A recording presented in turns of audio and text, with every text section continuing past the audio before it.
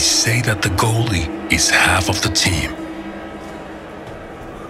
They say that defense wins championships. They say that four passes break any defense. Then there is the final shot that needs a character and a tool for the character.